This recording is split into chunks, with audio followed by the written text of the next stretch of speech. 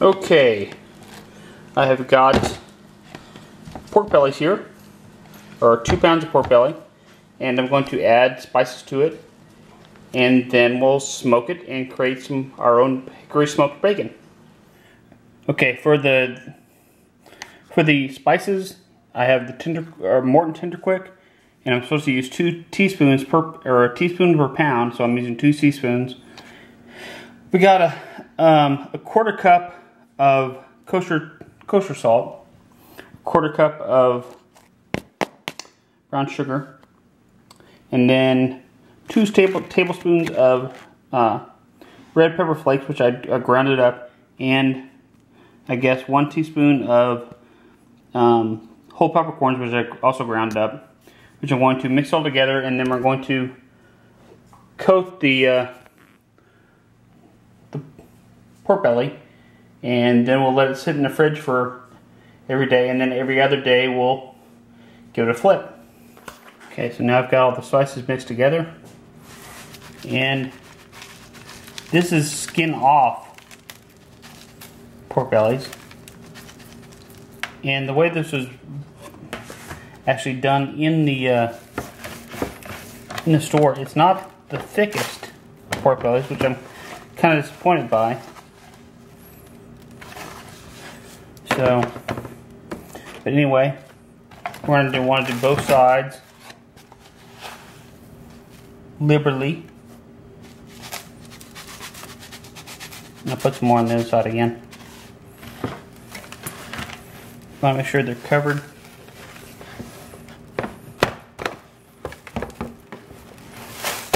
Okay, you can smell those red pepper flakes. I'm going to have to wash my hands. Make sure I don't touch my eyeballs.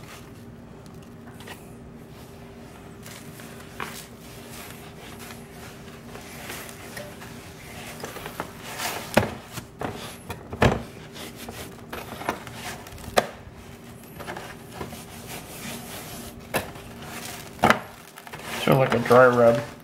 Make sure that it's applied evenly. That salt and everything else. This is what I'm going to do with it. I'm going to actually take this one gallon Ziploc bag.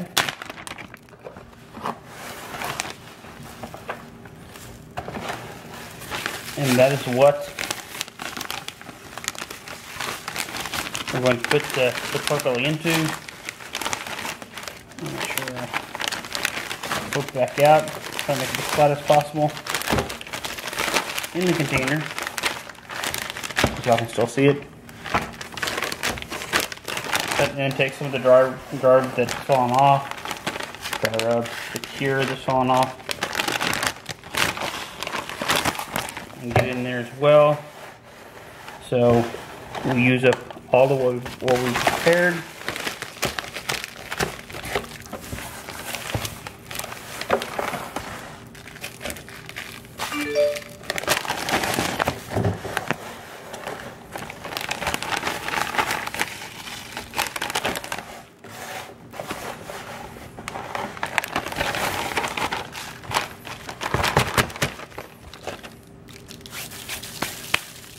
Okay.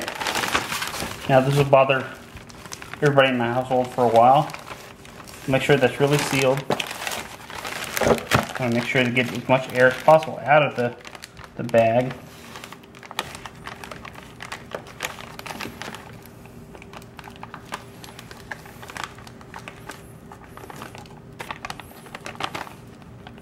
And that's going to be a trick.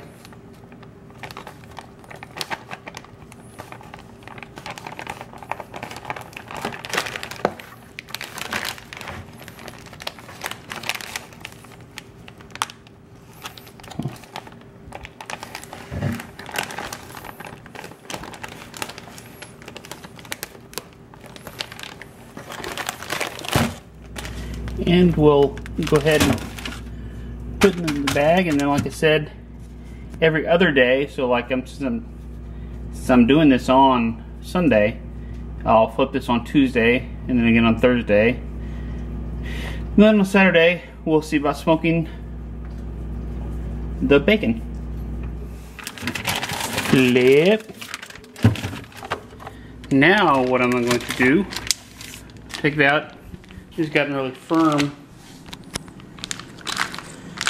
And I'm going to take it out, rinse it off, dry it off, and put it back in the refrigerator for a good 24 hours. Alright, I've rinsed it off, dried it off. It's very firm. Now from what I understand, this is bacon now. We could actually cook it up and have it cook as regular bacon. But we're going to smoke it too. So we're going to put it back in the fridge for 24 hours. I should get something to put it in. Anyway, be back in a second. Okay, that fit well into the dish. So I want to put that uncovered, dry, in the refrigerator for 24 hours to actually form the pellicle. So the smoke actually, you know, really gets in there. Okay, welcome to Saturday morning. We're going to start smoking this. I'm going to be using hickory. Um, we're going to be using my electric smoker, which I just got.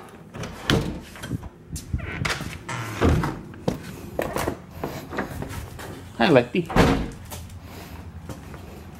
So it is preheating right now for up to 200 degrees. It's 67 degrees right now. I pulled out the smoker, or the tray, which I put the smoker chips in, in the water, water pan. So I don't burn my fingers when I fill them up. But we'll let that preheat a little, and then we'll put the bacon in, and we'll cook it with smoke for about an hour at 200 degrees, and then for another two hours just at 200 degrees without the smoke. So, okay. I put the bacon on the, the middle rack. And I got uh, chips in there. And I have chips in there. So, I'm going to close it up. And that'll be the last time I see the bacon for the for three hours. Oh, I gotta fill the water pan. Sorry. Pretty interesting, huh? Okay. I don't know if you can see it, but it has started to smoke. Hadn't reached temperature yet. It's 110 degrees right now. It's been about nine minutes. So, I'm supposed to add wood chips, I guess, every 30 minutes. So, we'll come back here about 30 minutes and add more. This will be interesting. As I can tell, that's a, a, a deer hoof print. But, you know, that's my, my back door. I mean, I've had some visitors. Course, Lefty is going nuts because he smells something and digging a hole, so.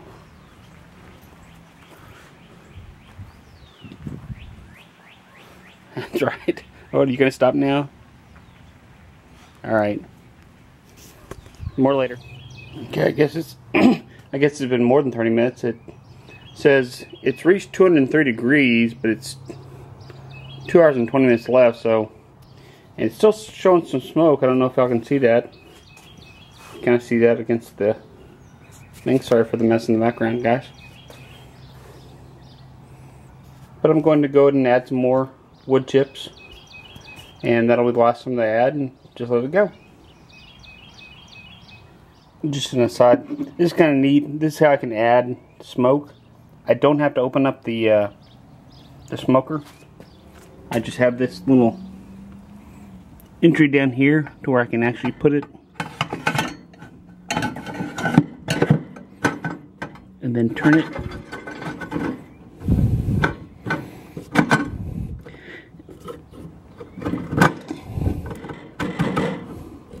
And that adds it to the pan that I uh, that I put in earlier.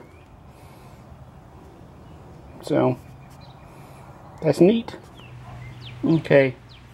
It still smells really smoky. It's got about 10 minutes left to complete the three hours. Then we're going to take out the bacon or the pork belly and uh, I'll put it in the, a, a clean, fresh tray and I'll put it in the refrigerator for, you know, let it firm up.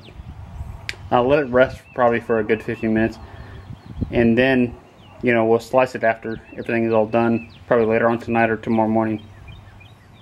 I'm curious, there's probably less than a minute left on there. I just wanted to see what it did when it reached zero.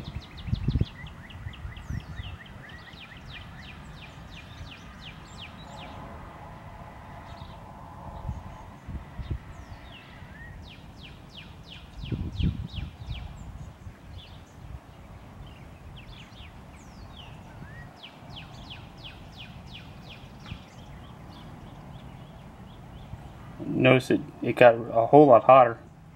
Actually, it reached zero. So it says heat will turn off when reached zero. So now we're going to unlock and open this up. It looks really, really done. So we're gonna have to open or get that out. I was actually surprised by the Masterbuilt this is what's left of the wood chips that I put in there. You can actually still see some wood chips still viable, so to speak. But I'm going to empty this out and I'm going to smoke something else. Okay, we've let it uh, sit here for about 10 minutes. We actually took some other meat out to put in the smoker. and we're going to cover it up with uh, saran wrap and put it back in the fridge. Let it firm up and then we'll cut it. Other people are real interested in this they're looking up things I haven't dropped yet. So anyway, I'm going to do that and then I'm going to try out my other brand new device, which is the slicer. So we'll actually see how that goes.